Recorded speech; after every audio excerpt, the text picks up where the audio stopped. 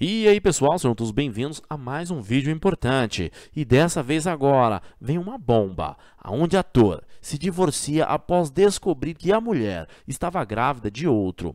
Ele quer impedir pensão alimentícia. Olha só pessoal, uma bomba agora no mundo dos famosos. Mas antes de mais nada, eu vou pedir que você se inscreva em nosso canal, ative as notificações e deixe o seu like. Ele é sempre muito importante.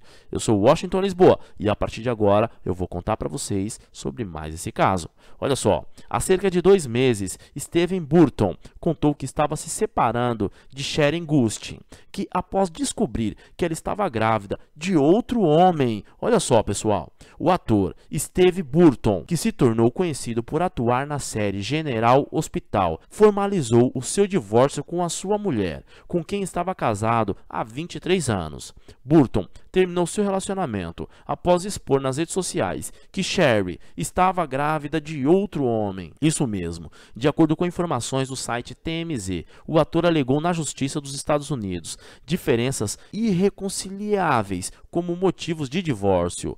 O documento aponta que no dia 1 de março, como sendo a data da separação dos dois, Steven Burton e Sharon Gustin se conheceram durante as gravações de General Hospital. Juntos, são pais de Maena, 18 anos, Jack, de 16 anos e Brooklyn, de 7 anos. Após o divórcio, segundo informações, o ator deseja a custódia legal e física dos filhos, além de requerer no Tribunal dos Estados Unidos que impossibilite a capacidade de qualquer uma das partes, ele ou a ex-mulher, de obter pensão alimentícia do trio. Toda a papelada envolvendo o divórcio de Esteve aponta que ele e a ex-mulher não fizeram um contrato pré-nupcial. Desta forma, eles não teriam se organizado oficialmente sobre a divisão de bens e as demais questões legais diante da separação. Olha só, galerinha, o que você pensa sobre isso? Deixe o seu comentário. Você acha mesmo que a mulher não tem direito de pensão alimentícia sobre os três filhos